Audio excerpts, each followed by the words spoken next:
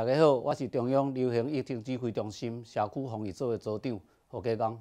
武汉肺炎的疫情已经拖到全世界，为了降低咱国内社区的感染风险，请大家一定要保持适当的社交距离，用匕首洗、拍招呼代替握手，并遵守以下几点原则：第一，和别人保持室内一公尺半，室外一公尺远，若会当正确挂喙罨，都毋免受社交距离的限制。第二，伫密闭也是人较侪的所在，都爱全部挂喙罨，亲像电梯内底食饭的时阵，都莫讲话，食饭了挂好喙罨才会当讲话。第三，放假了后提醒你。爱注意家己的身体健康，然后身体有艰苦的时阵，都爱挂喙罨，进去看医生。甲医生讲，你去倒去佚佗旅游的所在，保持社交距离，就是保护家己，嘛保护别人。